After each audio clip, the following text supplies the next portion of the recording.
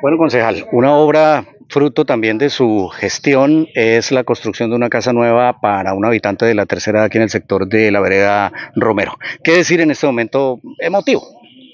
No, señores, pues la verdad que alegre por haber colaborado esta persona de la tercera edad, una gestión que se venía haciendo no solo mía, sino también del presidente, de la comunidad, de cada una de las personas que me acompañan se ha hecho con mucho esfuerzo, se logró, se le agradece al señor alcalde, al señor representante de la Cámara, a una, se me olvidó el nombre ahorita, una... ¿Dirigente cívica o...? No, esa es una ONG, una, ah, que también aportó su granito de arena. Y entre todo la comunidad, al, al maestro que fue el que le puso el pecho al señor que está allá presente, quien nos colaboró más de 20 días trabajando aquí, a veces solo le tocaba eh, una persona que también tiene la voluntad de, pueblo, que se le dice uno.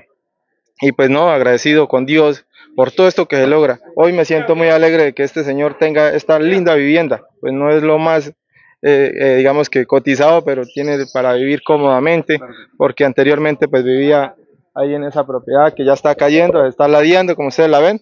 Entonces, pues alegre, alegre, me siento satisfecho de los logros que se han hecho y siempre estaré trabajando para mis comunidades, pendiente de ellos, de la tercera edad, de la mujer, de la víctima, de todo lo que pueda ayudar en las comunidades del municipio de Nechea. ¿Cuántos años vivió este adulto mayor en esta choza? Uy, el señor, desde creo que desde que lo conozco vivía en esta choza. Casi 60 larguito de años muchas necesidades de este tipo en las veredas del municipio de Nonchía. Sí, señor, hay muchas necesidades. Eso en varias veredas lo llaman a uno que le eche la manito, que les colabore. Otro el tema del servicio de gas, de, que son uno de los servicios que muchas eh, familias no lo tienen y que hoy en día se está gestionando en equipo con los concejales, la señora Julia Díaz y el ese concejal Luis Carlos de la Yopalosa, que también está por ahí acompañándonos, ayudándonos a hacer gestión y siempre lo hemos estado haciendo mancomunadamente. ¿Y cómo se reflejan esas soluciones que necesita el municipio en el documento de plan de desarrollo que están ustedes discutiendo precisamente en estos momentos?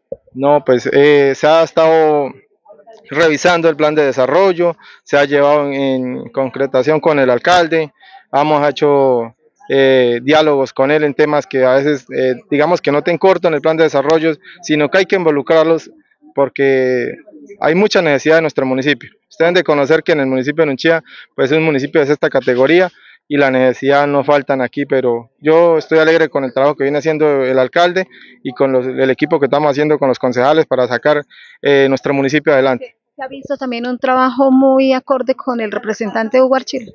Uy, no, también satisfecho y alegre y agradecido con nuestro representante Hugo Archila, ya que ha sido la persona que no solo ha trabajado aquí, ha venido a visitarnos aquí en nuestra comunidad. Me alegra porque casi nunca he visto un, representante de la Cámara que venga a poner por aquí el pie al barro, como se dicen, y hoy lo vemos aquí en, en nuestra comunidad.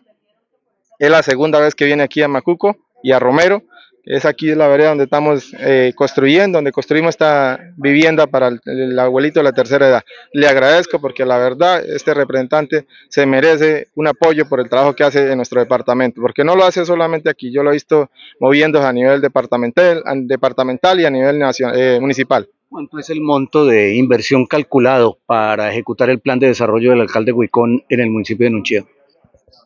La verdad no me acuerdo exactamente en estos momentos, pero está entre 20 mil algo.